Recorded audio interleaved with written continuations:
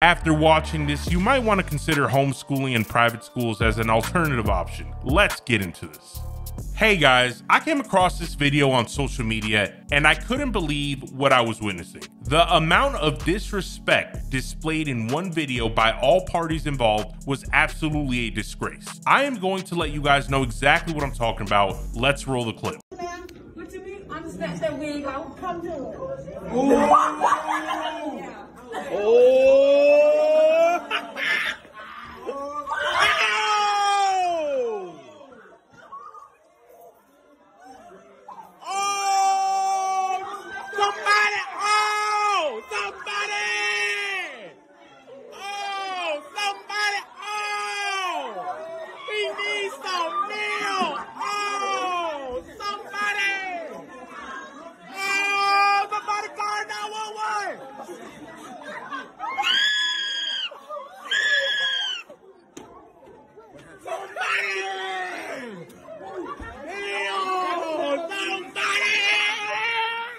So you guys just saw the video, and I know on the surface it might seem a little bit funny to some people who watch the video, but when I personally saw the video, I couldn't help but cringe. I don't want to be the guy who goes around saying back in my day, but the thing is, it's perfectly okay, especially in this case, to compare how things used to be to the present moment. And don't get me wrong at all. These kind of disrespectful students have always existed, but it's the reaction of the classmates that really had me super disgusted with the situation. Usually, when students go off, most of the time the class either one gets really quiet or two they start to whisper and talk among themselves.